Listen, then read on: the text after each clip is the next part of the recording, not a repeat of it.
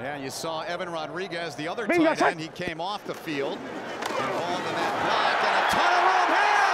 And toward the goal line is Farrow, and they say touchdown. Kenneth Farrow takes it in.